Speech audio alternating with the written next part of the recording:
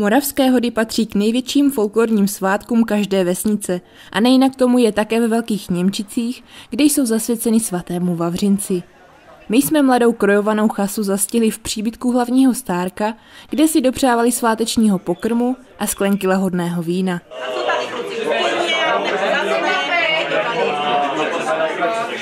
Krojované hody jsou každoročně v režii mladé chasy, zejména stárků. Ty letošní patřily stárkům ročníku 1999. Příprava takové veselice ovšem zasáhne celou rodinu, hlavně rodiče, kteří svým potomkům se vším pomáhají. Znamená to, že větší starost. Celý týden, 14 dní už kolem toho chodíme a máme z toho radost, že se nám to podařilo. Je u vás v rodině silná folklorní tradice? No u nás v rodině ne právě. Ale chceme dodržet tradici, aby to bylo vůči dědině a zachování všech, všech těch um, tradicí. No. A jste na svého syna pišný, že se stal hlavním stárkem?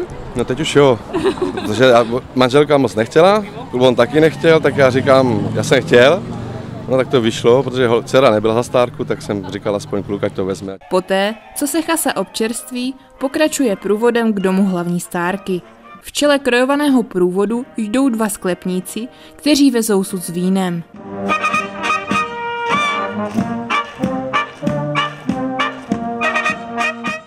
Sklepníkem se stávají nejmladší členové chasy, ideálně ti, kteří mají vinařskou tradici v rodině a tím pádem předpoklady k tomu, aby sami měli vztah k vínu a mohli se tak postarat o ostatní. Staráme se o víno, aby nikdy nedošlo, aby pořád bylo krásně studené a dalo se pít. A aby... vlastně, když jsou ty pochody, tak vozíme tu bečku, vlastně se střídáme, protože je to celkem těžký.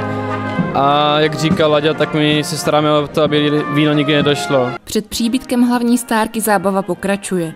Chasa, která se letos skládá z 15 párů, dodržuje zvyky, zpívá a tančí na lidové písně. Po celou dobu chasu doprovází dechová hudba Lácaranka.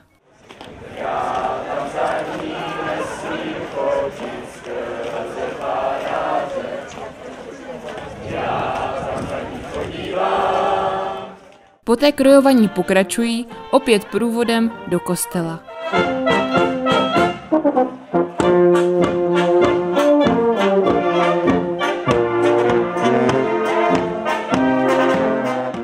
Před kostelem je už živo. Chasa se tu schází společně s místními a vydává se na sváteční mši.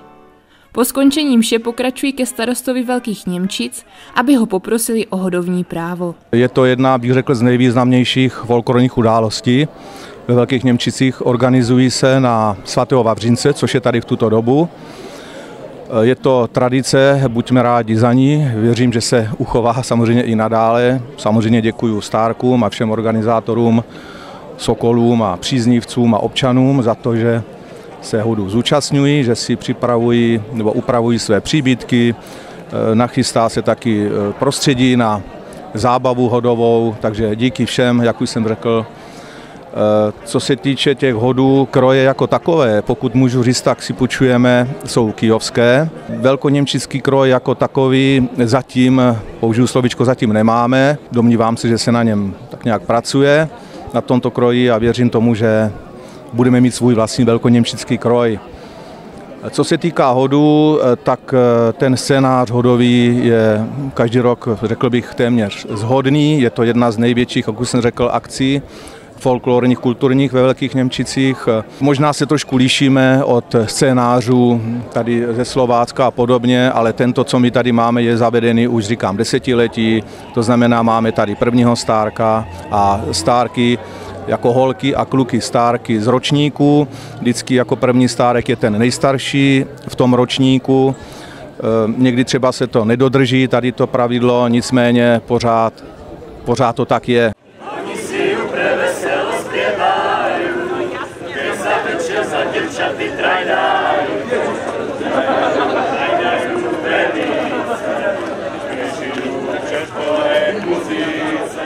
Co to znamená být hlavní stárkou? Eh, tak máme všechny povinnosti eh, chystat všechny sola a nachystat překvapení půlnoční, co bývá a aby všichni uměli jakž tak tancovat a zpívat. To bude asi tak všecko. Mohl byste nám popsat o program vašich chodů?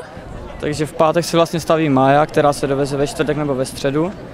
V sobotu se jde po obci nebo pro stárky, potom se jde do kostela ke starostovi a jde se, od 8 začíná zábava a zítra se chodí od 11 zvat po, po obci a potom večer, na, na večer je zábava a pro maminky a večer je zábava normální zase jak dneska.